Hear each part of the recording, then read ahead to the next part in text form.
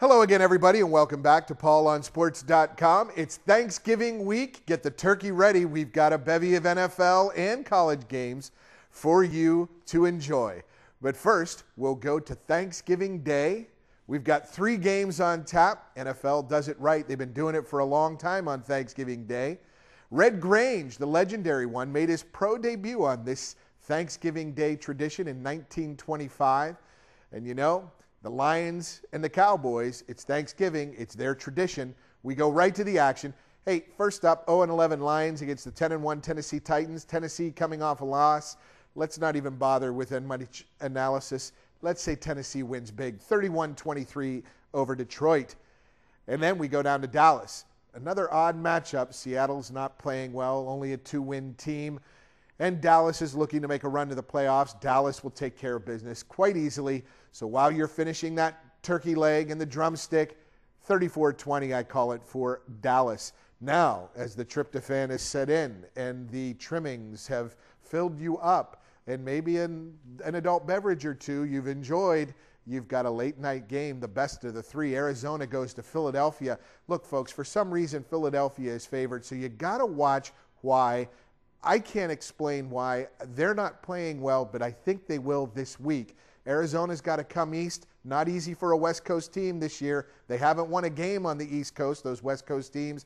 I say Philadelphia gets an upset. Well, they're favored, so it's not really an upset. But hey, Philadelphia gets a win. McNabb and company get back on track with a 24 20 score there. Hey, we got more football. Saturday, Kentucky travels to Tennessee. It's the border war here. Uh, they go down to Tennessee, and if any time is right, if there's one season that UK I think is better than Tennessee, this is it. They haven't beaten Tennessee since 1984. Against my better instincts, I'm going to pick Kentucky, actually. I thought two weeks ago they'd beat them. Then I didn't think so after that performance against Vanderbilt, and Tennessee beats Vanderbilt. So logic says Tennessee should win, but you know what?